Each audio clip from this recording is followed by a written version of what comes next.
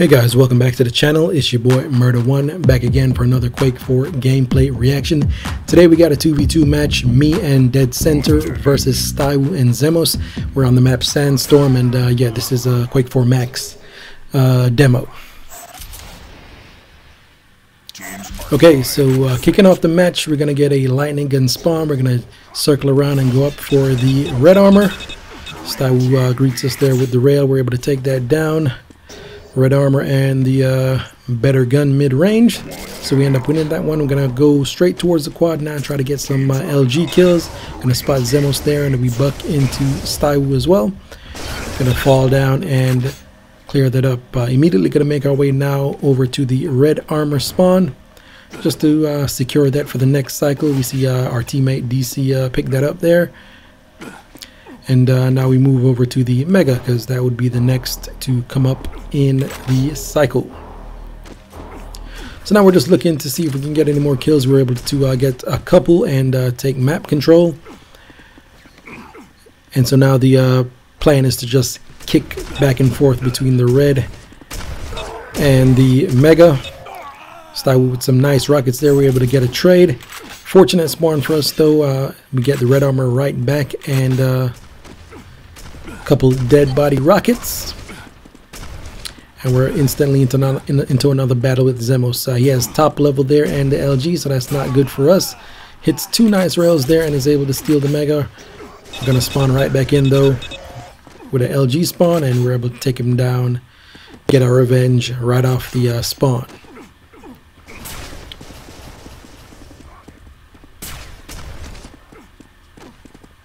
DC and I, of course, uh, are uh, clanmates, and I'm not sure who this guy Zemos was.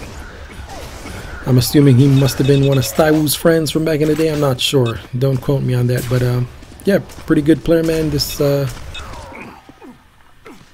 match was uh, pretty pretty even, skill-wise, I'd say. So we're able to pick the yellow now. I'm going to spam for the quad. Quad, of course, comes up every two minutes. So I try to spam at least 15 seconds ahead of time just to make sure DC knows uh, to come and get it. In a fight here, we're able, we're able to drop Stywoo. It comes up. We only have two health though, so I'm trying to spam for DC to come and pick it up. He makes his way over. Got tag teamed though, and he didn't go over the uh, the quad. And so the uh, enemy are able to get it. Get a fortunate red armor spawn though, so not going to hang around to, to uh, capture the Mega. We're just going to hide. And I make sure to uh, tell DC to do so as well. Just going to wait out the quad here, standing next to this jump pad. It, it is enclosed, so if they come around the corner here, we can just go up and uh, be safe most of the time or generally. Gonna make our way back around to the mega spawn now trying to stay quiet because uh, they were able to get a bit of the map control so we're not really trying to get into too many fights right now. Trying to just look for a trap or uh, to surprise them you know as we do here. We get a nice rocket shot there. DC cleans it up. We're gonna fall on the Mega. We made a play for the Mega and it worked out. Pick up some rocket ammo now. DC is gonna grab the red get into an LG battle and we end up falling there.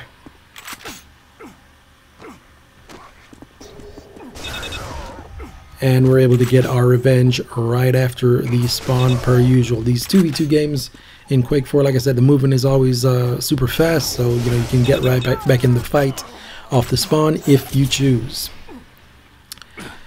It's a double-edged sword though, because a lot of times you think you can um, jump right back in the fight. But of course, the movement is fast, so the person might have picked up items in that uh, you know three four second interim that you're not aware of, and you're going into a fight with no guns or just one gun and no armor, and end up throwing away two frags instead of one. So you got to be real careful with the uh, re-engaging off the spawn.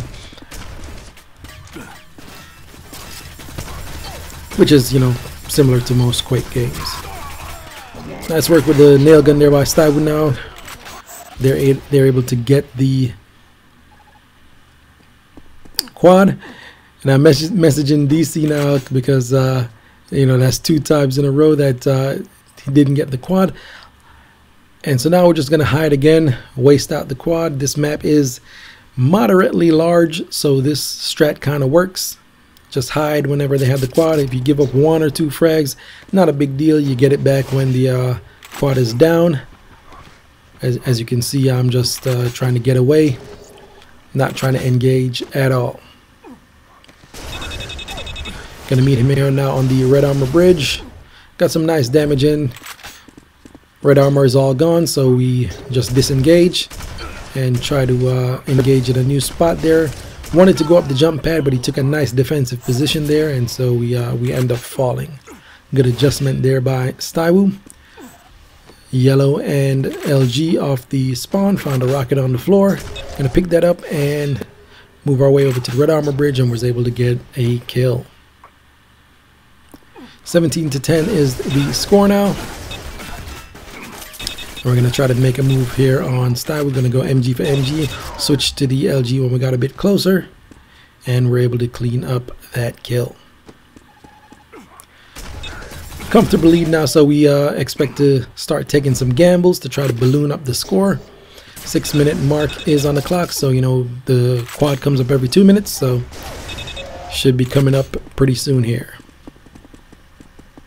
and that's a good way to tell when you're playing the uh, 2v2s if it's an even number early in the count you know the count is what uh, 60 seconds for the minute. So if it's early you know 605 610 you can expect the the power up whatever map you're on to uh, come up early to mid unless some extenuating circumstances occurred previously. Was able to uh, down Stywoo there and get the quad so now we're going to look to see what we can do with it. Uh, lowered expectations is to just get map control, but uh, we fall to a, a, good rail there anyway. Was going to re-engage, but we heard the quad pickup, so we just abort and try to play it safe. Still got a sizable lead, so as long as we hide, don't give up too many frags, we're good to go. Gonna hear him there now, gonna shoot some suppressive fire with the Hyper Blaster.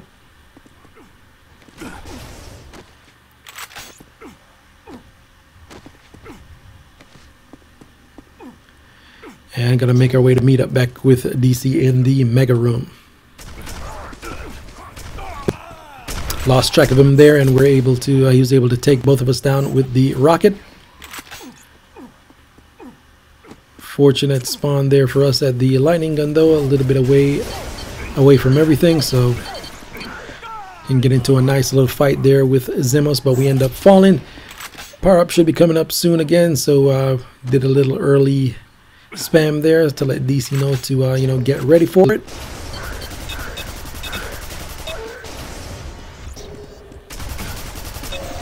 Able to take out Zemos there, and now still low health again, so I'm going to try to just play uh, defense so that DC can sort of be the battery and uh, pick it up.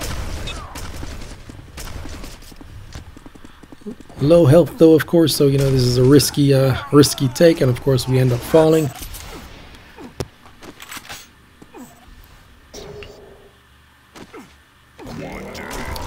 They end up getting the quad again, so of course the plan is to hide or uh, you know take some free damage anywhere we can. Still had a six frag lead so I like to still play a little bit loose in this situation. So I was gonna bulldoze straight through them come up the uh, jump pad as well with the LG that's sort of like the one of the only guns that you can do that with. Shotgun will work as well too. So now they've gotten three or four of the last quad pickups. And so now they're coming back in the game. I'm going to fall again there. And so basically all our momentum is lost. They're coming right back in the game. Rail into LG forces us to crater and the game is now tied up once again. Heard him up top there, so of course we can't go up. He falls down. Big mistake there. We have the low advantage. Uh, if you watch my last video, I was telling you that every gun had a best case scenario in which you can use it. That right there is one for the shotgun. If you're on a lower level and the other guy's on a upper level, whatever size the ledge may be, that's an advantageous position for the shotgun. Because even if they have the rocket, they're going to have to peek over the edge to shoot the rocket, which exposes them and you can just blast them with a, you know, point blank shotgun shot.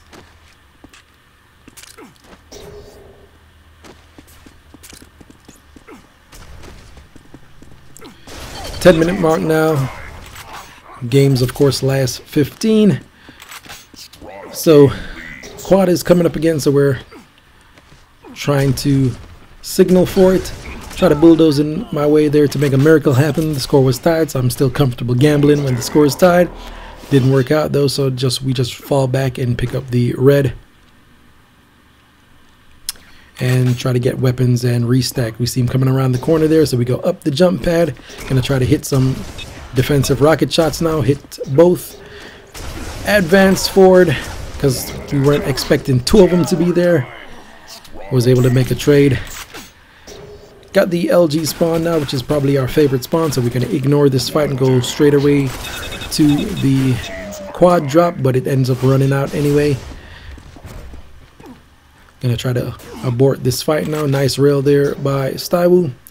Gonna make our way around to the rocket launcher, pick that up, and gonna try to restack here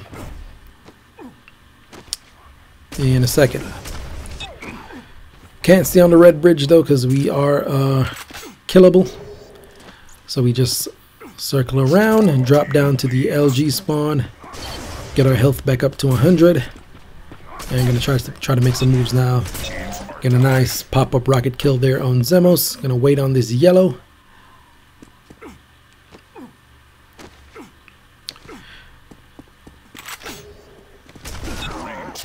Nice kill there as well. So we're able to take a one frag lead now at the approaching the 12 minute mark. DC was able to get the red in the interim as well. You can see um, in the bottom right hand corner there the uh, your teammate's position and their health and armor. Um, so you, you, know you can know kind of know who picks up what, even if you're not on um, voice, which we were not, of course. So I kind of back in this time frame, we didn't really use voice a lot because voice kind of makes the games a bit too try hard, as I've said before. When you're not on voice, you are more liable to make mistakes and have gaps in your communication which makes the game a little bit more fun. Now that might sound crazy, but it, it really does. It's you know, it takes out the super hard, try hard, sweaty, competitive nature of when you're in voice. Because when you're in voice, you know, you can communicate everything exactly. Your teammate is going to always know what to do. There's going to be no natural mistakes made other than if you just make a completely bad call. But for example, in this game at the start, you saw that uh, we had some miscommunication with the quad pickups there, and they were able to get back in the game because of them. So that's kind of what I mean. It's it's a little bit more you know free flowing, a little more natural gameplay as opposed to you know structured, high competitive gameplay. It's just more shoot it up with the boys instead of uh, you know trying to win QuakeCon. So we still have a, a two frag lead down. Gonna get a nice rail in there. We're gonna move in, switch to the LG, clean it up. As we close in on the 14 minute mark, only one minute remaining now. So we're gonna try to buckle down and get this dub.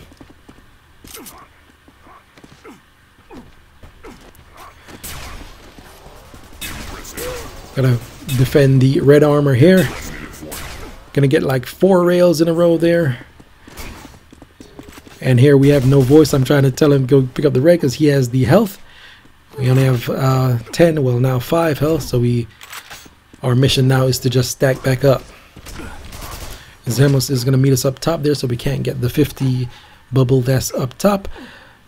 Closing in on the last minute now, last 30 seconds of the game, so I'm spamming to DC to let him know to fight for the power up. We're going to end up falling though. We're going to get the red, get the nail gun, and try to support. Three frags down. They have the quad. Not a good situation. Only 15 seconds left. They got DC there.